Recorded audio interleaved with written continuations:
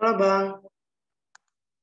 Sekarang kita bakal membahas soal fisika nih, yaitu mobil pemadam kebakaran sedang bergerak dengan laju 20 meter per sekon sambil membunyikan sirene dengan frekuensi 400 Hz dan cepat lambat bunyi 300 meter per sekon. Jika mobil pemadam kebakaran bergerak menjauhi seseorang yang sedang berdiri di tepi jalan, manakah di antara pernyataan berikut yang benar? Oke, kalau misalnya kita tulis dulu di sini um, itunya yaitu uh, kecepatan sirinenya itu atau kecepatan sumber ya itu adalah 20 meter per sekon yang menjauhi ya. Terus frekuensi sumbernya itu 400 Hz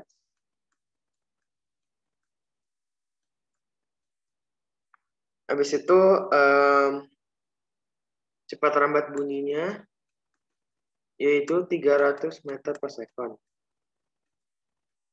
Nah, terus dia bilang di sini yang sedang berdiri nih. Berdiri berarti kan berarti kecepatan si pendengarnya itu nol dong, karena kan dia cuma berdiri doang, tidak berjalan.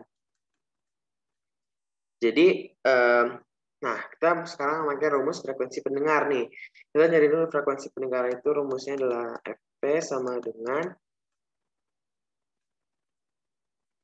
cepat rambat plus minus kecepatan pendengar yang bawah cepat rambat plus minus kecepatan sumber. Dikali frekuensi sumbernya atau Fs. Nah, oke okay, kita masukin aja cepat rambatnya itu 300 plus minus plus minus PP-nya berapa? 0 ya. Nah, nih kita sekarang yang bawa kita tahu nih kita harus cari dulu nih di, dikurang apa ditambah. Kalau sekalian di sini dia bilang menjauhi. Kalau menjauhi itu otomatis frekuensi mendengarnya otomatis lebih kecil daripada 400. Jadi otomatis yang di bawah itu uh, yang biar frekuensi mendengarnya itu lebih kecil, jadi yang bawah harus lebih gede. Jadi ditambah 300 ditambah ya, biar bawah itu gede jadi FP-nya makin kecil. Ditambah FPS-nya tadi berapa? 20 dikali Fs-nya tadi um, di sini 400 ya. Nah, frekuensi pendengaran itu 375 Hz. Oke, kita baca dulu di sini. Panjang eh, orang tersebut akan mendengar sirine pada frekuensi 370 Hz. Ini salah ya. Karena di sini 375 dan orang tersebut akan mendengar sirine dengan frekuensi 400 Hz. Ini salah karena 400 Hz itu kan sumbernya, tapi sedangkan di sini dia berkurang di 375. Sekarang kita cari dulu nih gelombang bunyinya gimana.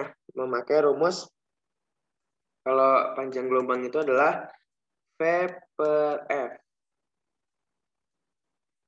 Nah, tadi uh, kecepatannya itu uh, cepat rambatnya ya. Ini cepat rambat 300 dibagi FP. Ini FP ya. FP-nya itu 375. Jadi panjang ini kan karena yang ditanya panjang gelombang bunyi di sisi pendengarnya. Itu lambdanya sekitar 0,8 meter atau 80 cm. Nah, sedangkan yang A itu 90 cm, berarti yang A salah. Tinggal yang D nih. Coba, orang tersebut akan mendengar frekuensi sirine lebih rendah daripada sirine mobil pemadam kebakaran. Ini benar ya, karena kan awalnya 400, tapi yang didengar itu frekuensinya 375. Kan lebih kecil ya. Jadi otomatis yang benar adalah yang uh, doang. Jadi untuk jawaban empat doang itu adalah D. Oke, untuk uh, yang sekarang sampai sini dulu. Mohon maaf jika ada kesalahan. Tetap semangat. Sampai jumpa.